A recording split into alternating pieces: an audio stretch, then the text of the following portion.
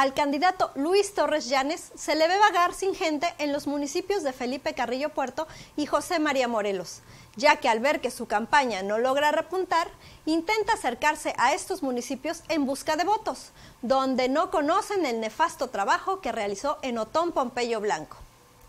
Su pobre estrategia es engancharse de la candidata morelense porque ella sí tiene popularidad ahí y tiene posibilidades de ganar la elección.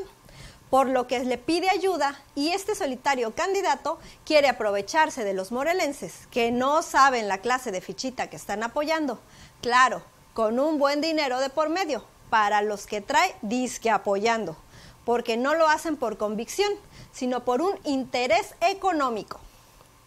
Los pobladores ignoran la cantidad enorme de deudas que dejó a su paso en Chetumal,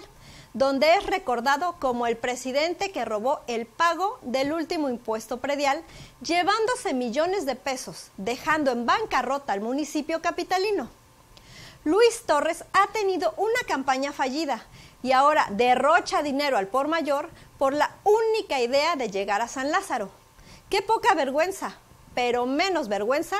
tienen las personas que lo apoyan aún sabiendo que lacra es.